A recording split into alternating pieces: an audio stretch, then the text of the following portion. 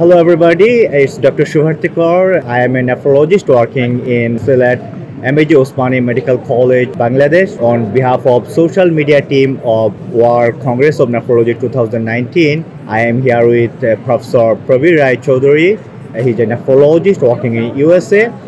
Professor Chaudhury, can you please uh, tell me about the importance of learning interventional nephrology on the part of nephrologists? No, thank you, thank you for that question. Um, I, think the reason uh, to learn about interventional nephrology or for nephrologists to be active in interventional nephrology is that it is a subspecialty that I think will allow nephrologists to provide an overall and holistic care for the vascular access of their patients. In particular, what I want to say is that interventional nephrology is not just about doing procedures, although that is very, very important. Interventional nephrology is also about understanding about the biology and the epidemiology and the clinical research aspects and the process of care of vascular access. And we need to be able to do that to provide good care, holistic care to our patients. What is the benefit of knowing the biology behind the maturation and failure of AV fistula? I think the importance of uh, understanding a little bit about the biology and about the basic and translational science of vascular access is that it gives you a better appreciation of what procedures can or cannot do. It gives you a better appreciation and understanding of the sorts of people you should do angioplasty on and perhaps where you shouldn't. It can help you understand how many angioplasties are too many in some patients. Okay, thank you. Uh, What are the future prospect of devices like BMS? That's a very good question. I think that it is uh, very encouraging that there are a large number of newer devices that are coming onto the market. Uh, we have uh, drug-eluting balloons, uh, we have uh, stent grafts, we uh, potentially could have newer therapies uh, uh, such as wraps or drugs that you drip onto the fistula to try and enhance the maturation. However, I will say that uh, I think we need more data on these newer therapies.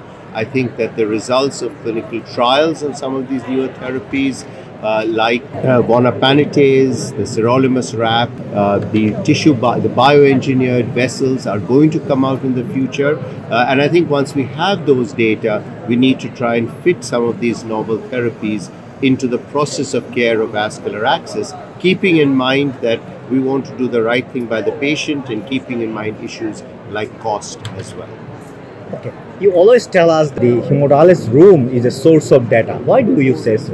Well, thank you, thank you for uh, mentioning that. I and many others have, have always felt that if you're thinking about clinical research, that within the hemodialysis unit, you have all of the different things that you need to successfully do clinical research. So you have uh, physicians, you have nurses, uh, you could bring in coordinators. Uh, you have, most importantly, patients that come in three times a week, and you have wonderful follow up on these patients in terms of really hard and important endpoints like death and hospitalization. And then you have the ability to take blood samples, and you have a database uh, that really is quite extensive in terms of labs and in terms of what's happened to the patient. And despite having all these things in the dialysis unit, we are really doing very little research in the dialysis unit. And I have just felt that it is such a lost opportunity that we are not harnessing all of these different strengths and really making the dialysis unit a hub for clinical research, a hub for innovation. So this is another question. How do you find prospect of artificial mechanical kidney in future? Right. I think that uh, uh, it's a good time uh, for thinking about really novel and innovative forms of renal replacement therapy. Uh, and I say that for two reasons. So, number one, I think that there have been significant advances in in technologies like better membranes, miniaturization, and sensors, all of which can feed into things like a wearable, a portable, a, an implantable, or a bioengineered kidney. But in addition to the science, I think what has also happened in the last couple of years is that we are beginning to have regulatory bodies and reimbursement bodies that are interested in trying to bring these novel technologies into patients. And in particular, through the Kidney Health Initiative, which is a public private partnership between the American Society of Nephrology and the FDA, we have developed a roadmap for innovative renal replacement therapy, again going all the way from enhanced dialysis to a portable, to a wearable, to an implantable kidney. And we hope that this roadmap will function as a catalyst for these novel types of artificial kidneys to come into patients. And in addition, we also have a kidney innovation accelerator in the United States, but whose scope is, I think, throughout the world that aims to try and provide funding for innovative uh, ideas and projects in the area of renal replacement therapy. So you put the two together, better technologies and public policy changes. I think the future is exciting, but again, I, I think issues like uh, uh, getting this these advances out to everybody in the world and issues like cost and access remain very very Thank you. You're a nephrologist from uh, USA.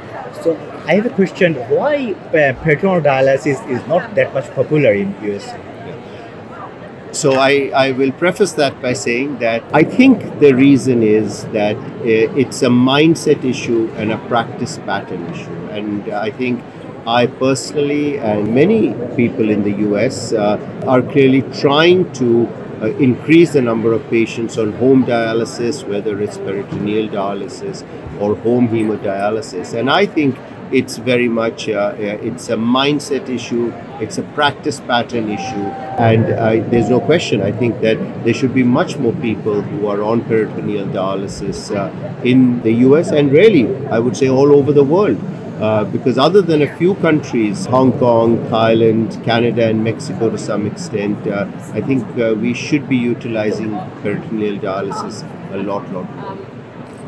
My last question: Why you love your work as a nephrologist, or why you have become a nephrologist? So I think the reason that I like what I do as an academic nephrologist is is twofold. Uh, so, one at the patient level, I think that nephrologists have a holistic view when it comes to taking care of patients because they are involved not just in the kidney problems of their patients, but in their heart problems and in their leg problems and in their psychosocial problems and in their socioeconomic problems, quite frankly. And so I think that that is a very nice part about nephrology, in that you are a specialist in a complex uh, area, but at the same time, you're still taking care of the whole patient. And Uh, for kidney patients, things start off with the kidney, but then they branch out into many other areas. The second part of my job that I like as an academic, and I'm very grateful to for this, is that in addition to looking after patients, I can also be involved in technology development and translational science and clinical research and public policy. And I think I'm incredibly lucky to have the ability to participate in these four domains that ultimately feed into patient care. So I, am incredibly lucky as an academic to be able to do this. Thank you, Professor Chaudhury. Thank you so much. Thank you. Time.